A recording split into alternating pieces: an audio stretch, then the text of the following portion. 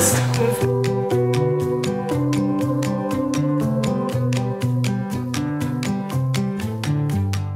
I'm on the road on, for Hapimag uh, since the 15th of July. I met my uh, partner, my companion for this journey, Helen, in uh, Edinburgh, and uh, she took all my luggage in the car, and it was a very good help for me. To Bowness-on-Windermere, where another Happy resort was uh, expecting me or waiting for me, and uh, we had a very nice time there. We went to Camdale and uh, then through the dales of uh, Yorkshire, which was a very challenging but very beautiful tour to York.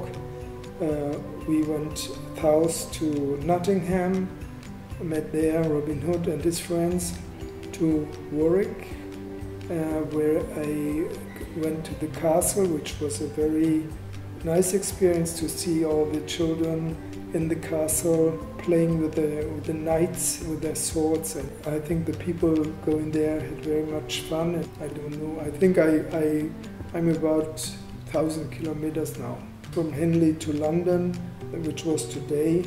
And this was very hot very challenging as well and uh, the town was very uh, strange to cycle for me because uh, I cycled for one and a half week weeks only in the landscape, and so the town uh, was was hard to take.